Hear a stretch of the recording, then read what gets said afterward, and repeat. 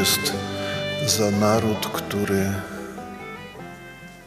jak możemy usłyszeć, uchodzi za wyjątkowo rusofobiczny naród, a równocześnie, jak niedawno mogłem znaleźć informację, jak się zaczęła wojna na Ukrainie, e, to w wielu krajach zaczęto Rosjan absolutnie niewinnych zwalniać z pracy, nie podpisywać z nimi umów dalszych, wymawiać im mieszkania.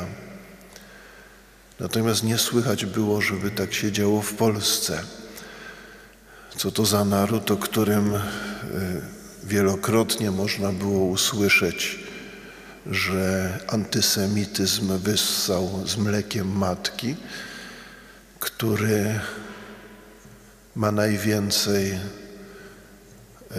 ludzi jak uznanych za sprawiedliwych wśród narodów, pomimo że w tym właśnie kraju było najbardziej, był, kara za pomoc Żydom była największa. Można było narazić rodziny, siebie i rodziny na śmierć. Jedyny tylko taki kraj. E, to jest właśnie kraj, który ma za matkę Matkę Boga. To jest nasz kraj, to jest nasza ojczyzna, z której rzeczywiście możemy być dumni. W 1656 roku, 1 kwietnia, w Lwowie, czyli dzisiaj w mieście ukraińskim, Szwed, czyli Jan Kazimierz z rodu Wazów, w obecności Włocha nuncjusza papieskiego uznał Żydówkę, czyli Matkę Jezusa, za królową Polski, Litwy, Rusi, Żmudzi, jeszcze kilku innych części Rzeczypospolitej. E, sam ten fakt złożenia tylu narodów, które żyją w zgodzie, pokazuje to, co powiedziałem, to z czego możemy być dumni, e, że jako dzieci Maryi, zresztą ta e, religijność, duchowość związana z Maryją e, kształtowała nasz naród dużo wcześniej, choćby znając Bogu Rodzice, która gdzieś tam jest u początków naszej państwowości, naszej świadomości narodowej. E, myślę, że to jest e, to, co powoduje, że, że dzisiaj też, e, przynajmniej tak słyszymy z mediów, świat cały patrzy z podziwem na to, co robią Polacy wobec uchodźców z Ukrainy.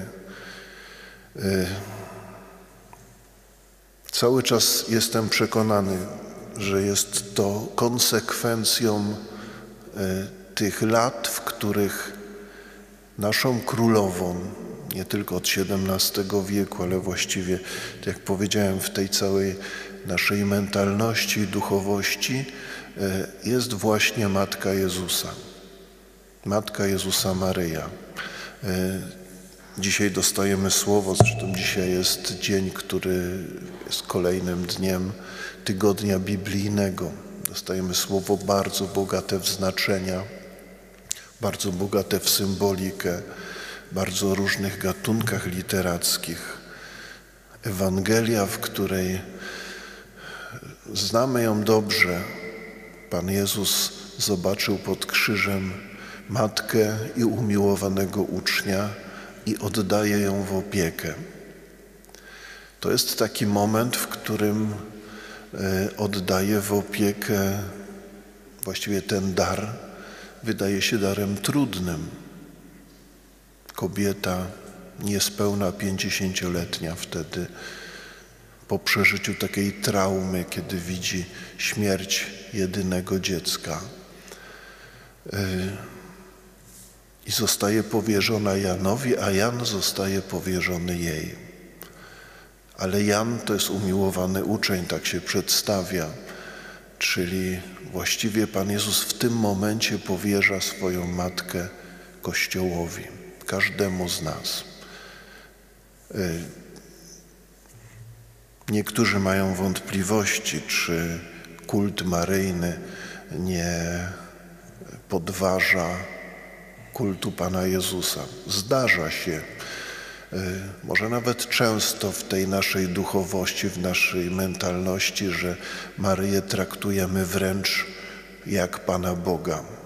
Kiedy król Jan Kazimierz y, składał w ręce Maryi swoją władzę, oddawał jej koronę, to w tym dekrecie jest prośba, żeby za jej wstawiennictwem, ale mocą Jezusa, tam jest bardzo świadomie to powiedziane. Zresztą tekst został napisany przez wybitnego świętego polskiego Andrzeja Bobole.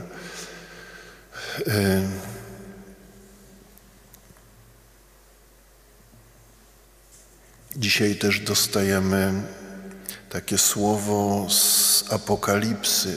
Apokalipsa to jest, przypominam, księga pocieszenia, która jest dana wtedy, kiedy jest niebezpieczeństwo. I w, w, mamy ten znak, który akomodowany jest właściwie do osoby Maryi, czyli niewiasta obleczona w słońce, księżyc pod jej stopami, a na jej głowie wieniec z gwiazd dwunastu. E, tak jest Maryja przedstawiana bardzo często jako niepokalanie poczęta w ikonografii, ale wiemy, że kiedy Jan to pisze, to on e, mówi o pewnej personifikacji działania Pana Boga, dokładnie o najpierw narodzie wybranym, bo ten naród wybrany to jest ta niewiasta, która jest prowadzona przez Boga po to, żeby urodziła Mesjasza. A potem ta niewiasta staje się Kościołem. Ta niewiasta jest symbolem Kościoła. Obleczona w słońce, czyli w światło, ubrana w światło, to znaczy, że widzi drogę, ma świadomość, także jest tą, która może poprowadzić innych. Księżyc pod jej stopami, księżyc jest symbolem zawsze y, pewnych sił ciemności, który wydaje się, że świeci, ale nie ma swojego światła. Można byłoby powiedzieć, że przedrzeźnia słońce. To robi diabeł, kiedy przedrzeźnia Pana Boga, udając Jego działanie wieniec z gwiazd dwunastu, który symbolizuje i dwanaście pokoleń Izraela i, i dwunastu apostołów posłanych na cały świat. Y, I rodzi, i rzeczywiście rodzi. Z drugiej strony ten drugi znak, taki groźny, wielki smok barwy ognia, mający siedem głów i dziesięć rogów. Znowu symbolika y, Rogi są symbolem mocy. Na głowach siedem diademów, siedem jest to liczba pełni, czyli on ma wielką moc i wielką władzę. Jeszcze zmiata ogonem jedną trzecią gwiazd, czyli jakby pociąga za sobą, gwiazdy były uznawane za, za aniołów, pociąga za sobą także jakiś bunt aniołów i wydaje się, że ma taką potęgę, że nie da się go pokonać. I czasami mamy taką sytuację, tak się nam wydaje, że jest taka potęga, której się nie da pokonać.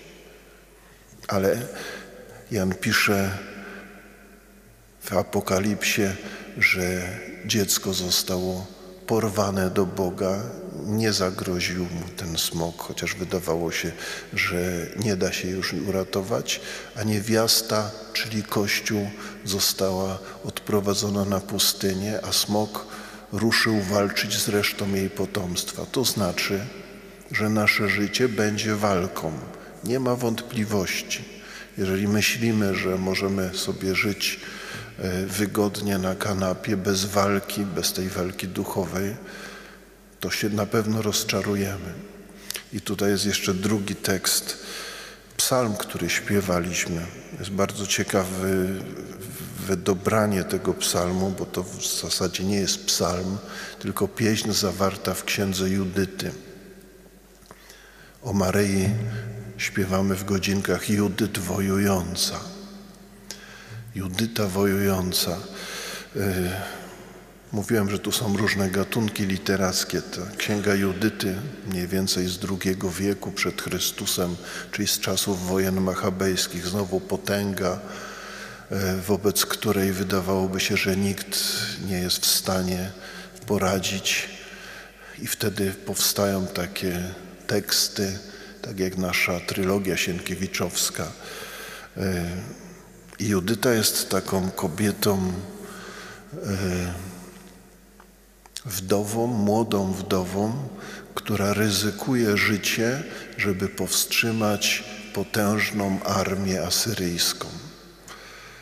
I między innymi podstępem zabija Holofernesa, obcina mu głowę i ten fragment, który śpiewaliśmy w odniesieniu do Maryi, był pierwotnie w odniesieniu do Judyty, do tej, która zaryzykowała własne życie, żeby ratować przed wielką potęgą. I udało się zatrzymać tą potężną armię asyryjską e, w tych przełęczach, wąwozach przy mieście Betula. E, Maryja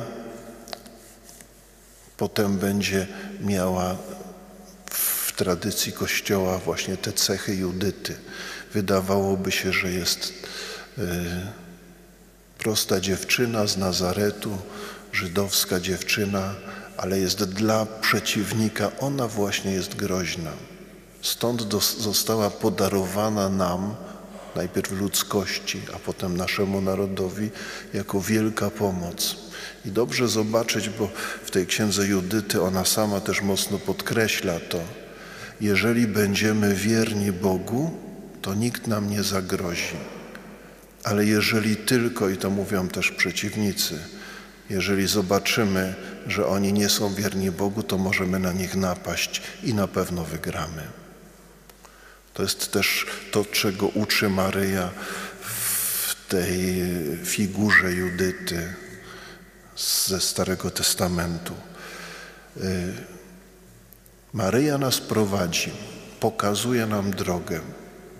Wiemy ten obraz Matki Bożej Częstochowskiej, Chodegetria, ta, która wskazuje na Jezusa, Chodegetria, to znaczy ta, która pokazuje drogę. Ona nam pokazuje drogę. Nie chodzi tylko o to, że my się do niej modlimy, a ona załatwia nasze sprawy, tylko ona przede wszystkim pokazuje nam drogę pokazuje dziecko, pokazuje to, co jest drogą właściwą, pokazuje Boga. Dzisiaj też słyszymy w drugim czytaniu z Kolosan o Jezusie, o tym dziecku właśnie, które rodzi Maryja. On jest obrazem Boga niewidzialnego. Kiedy zastanawiamy się, jaki jest Bóg, potrzebujemy patrzeć na Jezusa. Pan Jezus mówi do Filipa, kiedyś Filip mówi, pokaż nam Ojca. Mówi, Filipie, Dotąd mnie nie zobaczyłeś, kto zobaczył mnie, zobaczył Ojca. Chcesz wiedzieć, jaki jest Ojciec, jak Ojciec kocha nas? To popatrz na mnie, to popatrz na krzyż. Bardzo y, mówię, jest to taki dzień, w którym oddajemy chwałę, dziękujemy y, Panu Bogu, dziękujemy Jezusowi Chrystusowi, że dał nam Maryję jako drogę, że dał nam Maryję. Y, zacząłem tę myśl, że może się komuś wydawać, że jak będziemy czcić Maryję, to odbierzemy chwałę Panu Bogu. Ktoś ładnie powiedział, y, Pan Jezus żyjąc na ziemi na pewno wypełniał przykazania Boże. Nie złamał żadnego przykazania Bożego. A czwarte przykazanie mówi czci ojca i matkę swoją. Więc jeżeli Pan Jezus czcił Maryję, to możemy Go zupełnie dobrze naśladować, oddając cześć Maryi. I na pewno e, nie odbierzemy Bogu chwały.